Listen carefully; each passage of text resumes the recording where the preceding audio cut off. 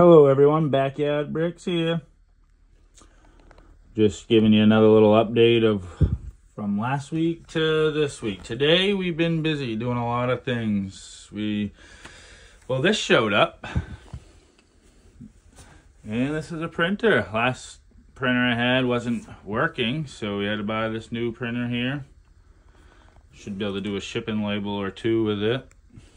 Did some test prints with it. Apparently it does Cobbler and Lego sent me that for free for joining the Insider Club. Figured I'd try that out too.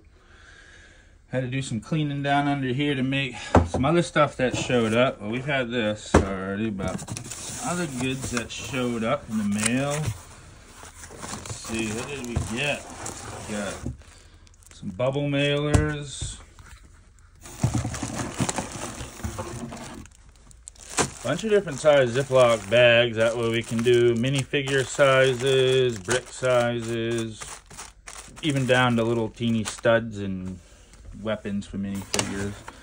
Oh, just a bunch of other odds and ends, shipping supplies, some tape. Not really much. I guess we're still waiting on some more bubble mailers. So, yeah, that kind of brings me over to the store. Um, oops, we just do this is where we're still sitting at, same place. We did get some, we're making progress on hooking stuff up and actually like the logistics of things, making that type of progress. Haven't made really any progress with updating any to the collection. So the top up there remains the same. The bottom's been, the drawers on the bottom been in and out trying to sort through that big um, haul of used Lego. And that's kind of been, oh, I should probably put some of this garbage back. It's all freaking garbage. Just kidding. We'll use it for some good someday. Hopefully that's the goal. We've been all this stuff's adding right up pretty good. We were around $500 investment last time. Now we're just a little over $600 invested into all these different supplies here.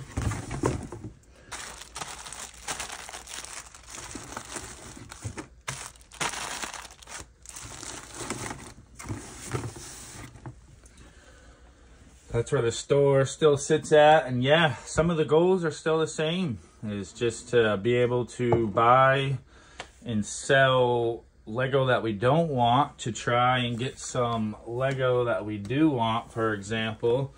Oh, it's so nice outside. Uh, for example, something like this. Get some of these Harry Potter sets over here. Because we still, ooh, we still want to get the um, a nice display set up. So ultimately getting more of Harry Potter Lego would be great. Spin it over here. Oh, while I was cleaning out underneath there, making room for some shipping supplies, that's where the old printer was, some other old gaming stuff, and come across this third computer here. I had no idea if it would even work, but it's struggling over here. But hey, if we got Google, we've got something. So we might add that to the shop just to kind of help out with organizing stuff. Lots of little baggies, as you can see. That kind of wants, that will probably bring me to the other Lego area that we have to work with is just like a sorting area. It's kind of been a whole family project trying to get all these Legos sorted out. But out here, I've kind of taken over the whole dining area. We don't need to eat food anyways, so now it is my Lego area. But yeah, so basically we've just this whole this thing was full. So we've been making progress. There is a bottom to it now. It's more or less just sorting from here to here into big bins as we go. Only got so many containers, and of course there's so many parts. But at the end of any session of sorting, just dump them into these bags here. So some of those parts over there already have a bag in a home. Some of the parts over there do not have a bag at home. So eventually, basically the goal is, is every one of these bags is going to be full of just part type. So not sorting by color right now, just simply part type. So these are all two by twos. In the end of doing all this, sorting through the used Lego will achieve this, basically, depending on how big these bags get full, we haven't even, and I still got a whole nother tote to go through. So basically this whole bag's already full.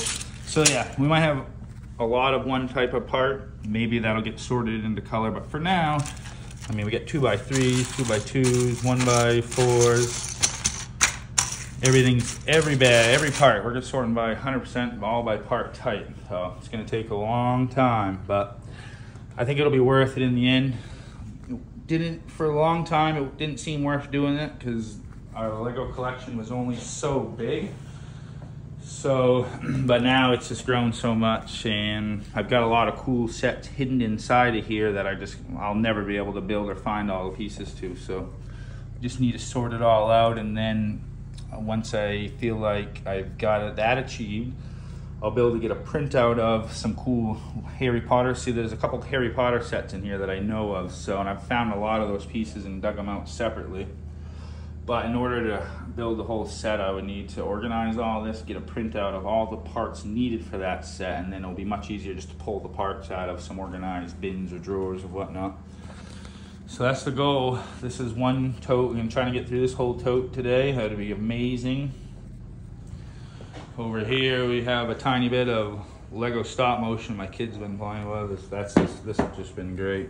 Built this little thing kind of rugged. We get a couple lights set up in here, make it nice and bright and kind of cool, but everything's pretty solid.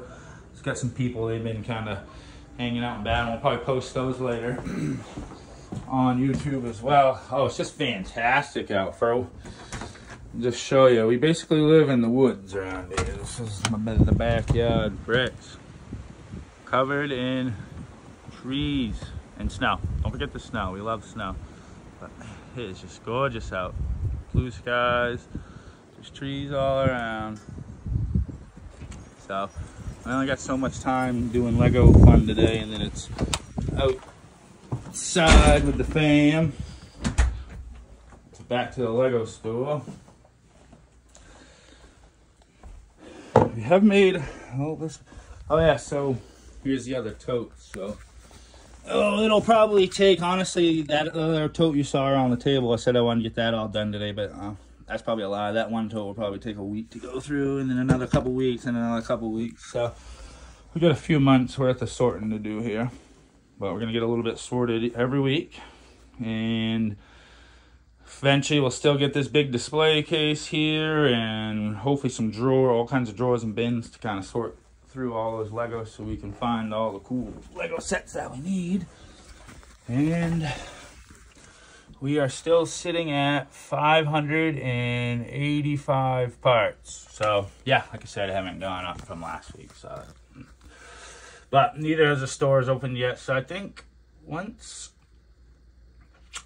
so I'm really only a little bit more shipping supplies I'm waiting on is just some more different size bubble mailers. I think after that we are ready to open. We're not going to try, I mean, as far as the part count goes, that's just going to have to grow with time. There's no, not waiting really too much more on that.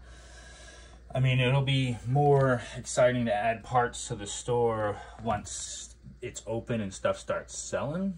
So then that would be more of a demand and more exciting to actually, A, go buy more sets like this on sale and try and part them out. Or once I get through all that mess over there and start finding some valuable used Legos and whatnot. I mean, I got a ton of minifigures. Might start selling off some of these once I can identify them. But for right now, I kind of want to hold on to a lot of the Lego that I can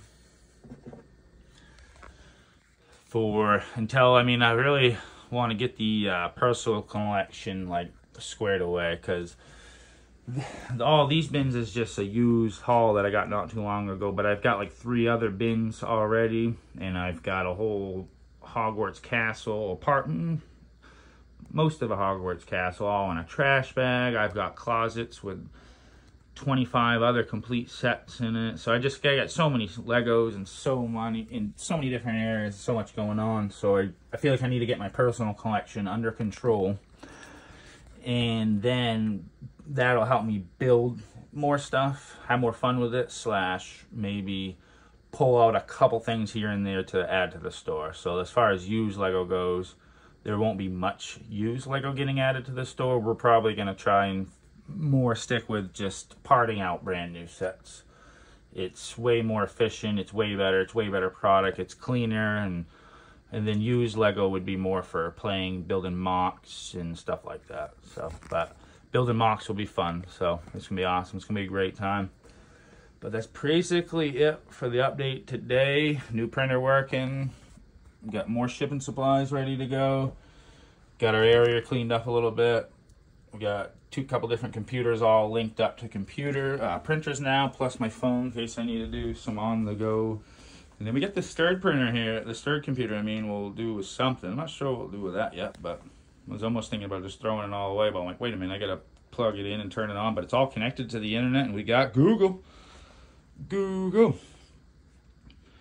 Got ton of cool parts here. Once I find, once I get it more organized, I plan on doing some more videos. I'll show you guys once all these totes have gone through and show you what it added up to and sorting by part type like I've been doing out there will allow me to actually weigh each category and we'll get a part count. So I'll try and give you guys a uh, part count on the le used Lego haul and then I will give you just a weight on all the other like the mega so I had to pull out a lot of Mega Bloks, random toys and random things like that. So maybe even get you a, a total weight on that and we'll see how valuable and how worth the purchase was and then we'll see from there if we can turn our $600 invest starting up investment into at least breaking even. That'll be the goal. So somehow or another i got to get sold through all these legos and some other lego sets and pull out enough out of all that to be able to come up with the